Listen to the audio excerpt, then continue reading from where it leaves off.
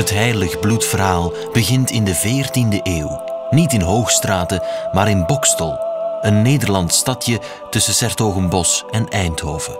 Hic est enum calix sanguinus mei, novo et interni testamenti, mysterium fide, qui pro vobis et pro multis effenditur in remissensem peccatorum.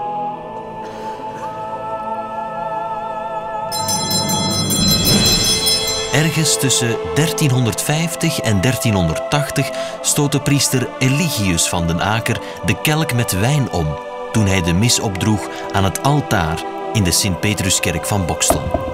De witte wijn kleurde onmiddellijk bloedrood op de altaardoeken. Een houten paneel uit 1605 dat zich bevindt in de Sint-Catharina-kerk van Hoogstraten vertelt ons dit mirakelverhaal.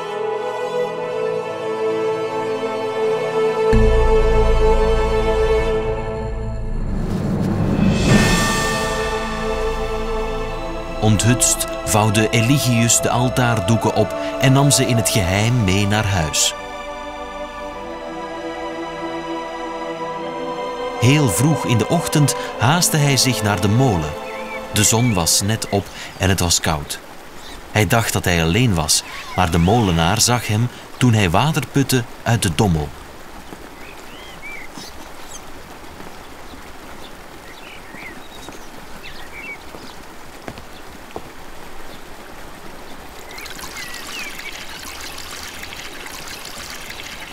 Eligius probeerde de rode bloedvlekken te verwijderen door ze te wassen, te bleken, te behandelen met loogzout.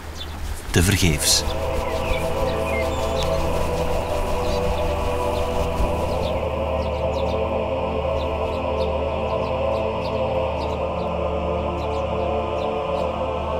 Ten einde raad bewaarde hij de doeken stiekem op een veilige plaats en pas op zijn sterfbed biechtte hij alles op aan zijn biechtvader.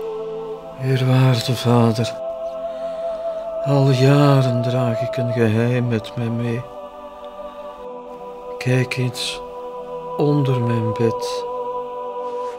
Daar ligt een altaardoek.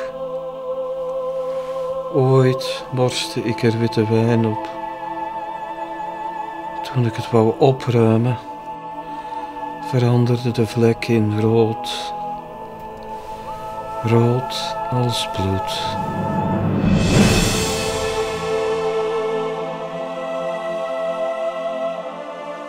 De altaardoeken werden teruggebracht naar de Sint-Petruskerk in Bokstel. De mensen wilden ze zien, bewonderen en aanraken.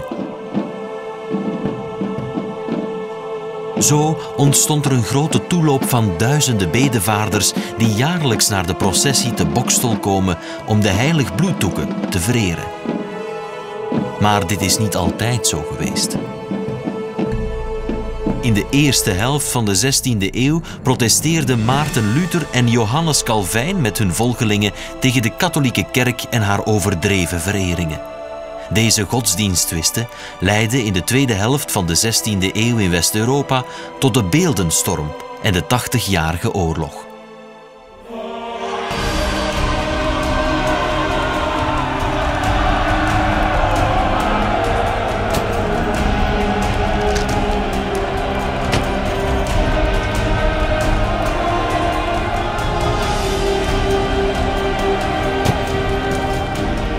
De 80-jarige oorlog eindigde in 1648 met het Verdrag van Münster.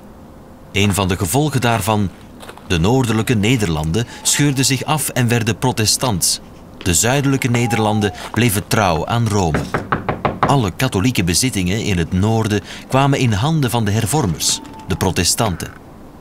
Zo werd de Bokstelse Sint-Petruskerk een protestantse kerk. Geen enkel heilige beeld en geen enkel heilig voorwerp was er nu nog veilig. Ita missa est. Om die reden moesten de heilig bloeddoeken in veiligheid gebracht worden in het katholieke zuiden.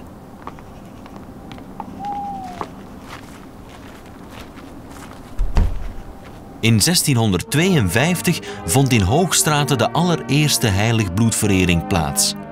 Jaren later, in 1924, schonk de pastoor van Hoogstraten één heilig bloeddoek terug aan Bokstel. Zo werd de processie van Bokstel in ere hersteld. Het andere heilig bloeddoek wordt in Hoogstraten vereerd. Op de eerste en tweede zondag na Pinksteren gaat de heilig bloedprocessie uit in Hoogstraten. Ieder jaar opnieuw stromen duizenden bedevaarders en toeristen van heinde en verre toe om te kijken en te genieten van de gezellige sfeer en de onvervalste Kempense devotie.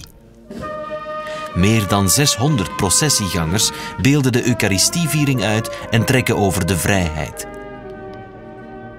In de Sint-Catharina-kerk van Hoogstraten wordt het gouden schrijn met de kostbare reliquie bewaard.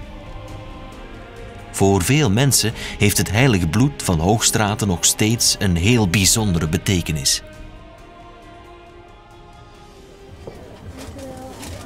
Versmoutwallen, alstublieft.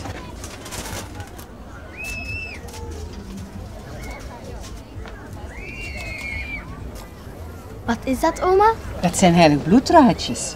Wat zijn heilige bloeddraadjes? Wel kijk, heilig bloeddraadjes zijn kleine rode draadjes die de priester op het heilige bloeddoek heeft gelegd.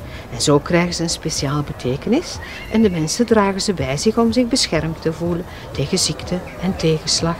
Het is zo'n beetje gelijk jouw gelukspoppetje naar jouw portemonneetje.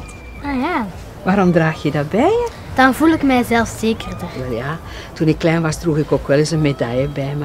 En daar stond mijn patroon heilig op en dan geloofde ik dat hij mij beschermde. Zoiets is het. Geloof jij daarin, oma? Jij niet dan? Het is wel een beetje gek, hè? Ja, weet je wel. Maar mensen hebben dingen nodig en mensen waardoor ze meer vertrouwen krijgen en zichzelf zekerder voelen. Vijf euro, alsjeblieft. Alsjeblieft, mevrouw. De heilig bloedprocessie in Hoogstraten is onlosmakelijk verbonden met de kermis. Devotie en ambiance gaan op deze feestdagen hand in hand.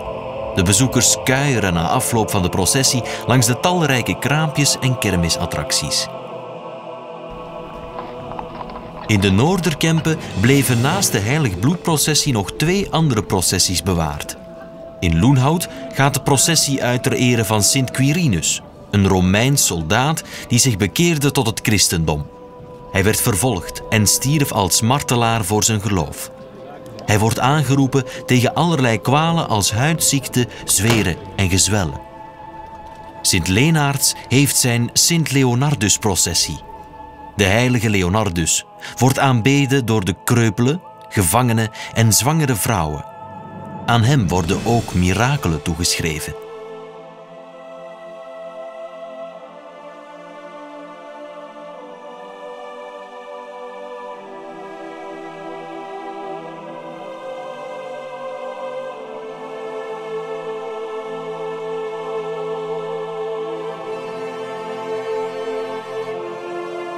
De Heilig Bloedprocessie werd in 2008 erkend als Vlaams immaterieel erfgoed.